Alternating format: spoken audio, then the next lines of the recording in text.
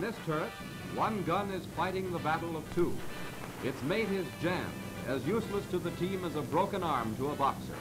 All because headspace is improperly adjusted. Here's the story.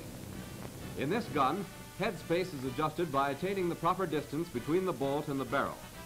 Failure to adjust headspace properly will cause sluggish operation and frequent stoppage when the cartridge is fully seated in the chamber. This illustrates proper headspace adjustment. The base of the cartridge is held against the base of the bolt and the cartridge is fully seated in the chamber.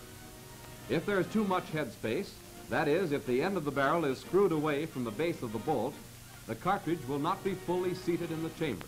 The explosion tries to drive the loose cartridge forward into its proper position in the chamber, and since the head of the cartridge is held firmly in the T-slot, the explosion results in a separated case.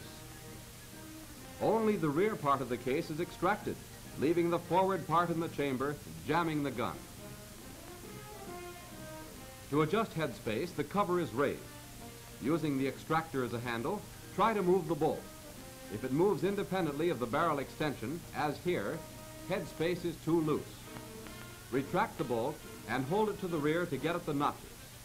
With the point of a cartridge, tighten the barrel one notch at a time. Then let the bolt go forward smartly. If the action still closes, the barrel must be tightened at least one more notch. Because it still closes, it must be tightened at least another notch. Now the action does not fully close. The notches can be seen.